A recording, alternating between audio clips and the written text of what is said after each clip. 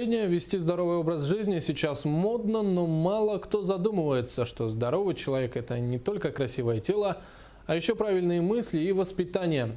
Об этом студенты Южно-Якутского политехнического колледжа говорили за круглым столом. Из Нерюнгри передает Виктория Харитонова.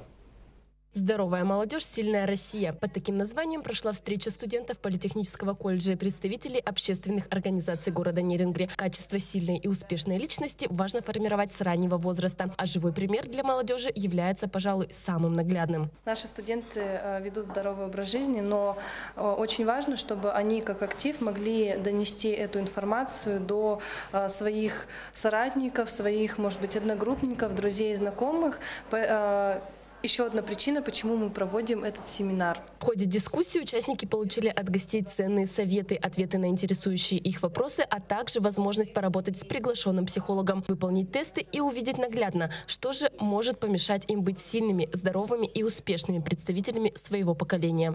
Эти ребята молодые, инициативные.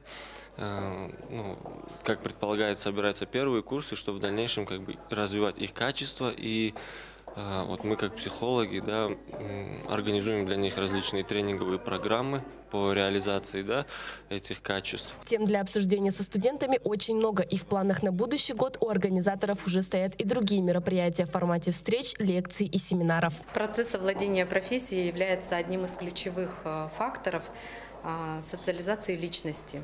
Наш колледж в этом плане работает очень активно и дает огромную почву для а, формирования личности студента. Подобные встречи и мероприятия являются важной составляющей на начальном этапе студенческой жизни. Ведь именно в этот период человек начинает самостоятельную жизнь. А какой она будет, сможет решить только он сам. Виктория Харитонова, Вадим Барашков, НВК «Саха», Нерингре.